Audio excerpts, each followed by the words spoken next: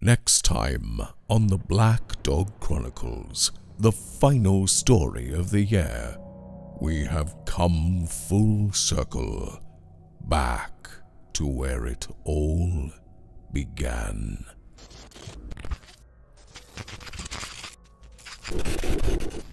You needn't think I'm crazy. Now that he's disappeared.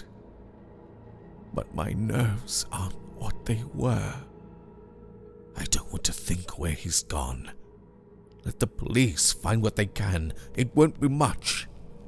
Now, if you're game, I'll take you there tonight. I think you'll enjoy the pictures. As I said, I've let myself go a bit there.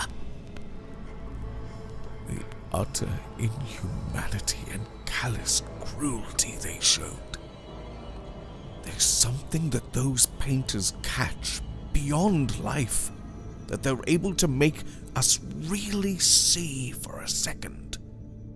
Dore had it, Sime had it, and he had it as no man ever had it before, or I hope to heaven ever will again. H.P. Lovecraft's Pickman's Model. Next time on the Black Dog Chronicles.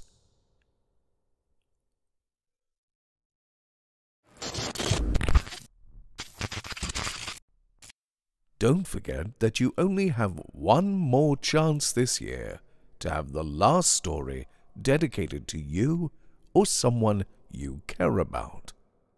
But how do you get this chance? So, your friend and mine, Moon's cat, likes to hide in the art on the channel.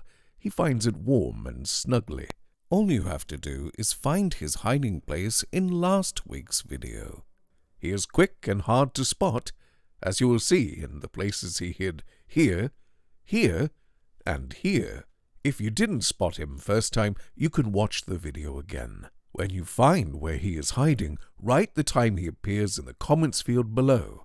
The first person to spot him and write the correct time gets the chance to nominate themselves or someone they care about to get the extra special honor of being the last dedication for 2022.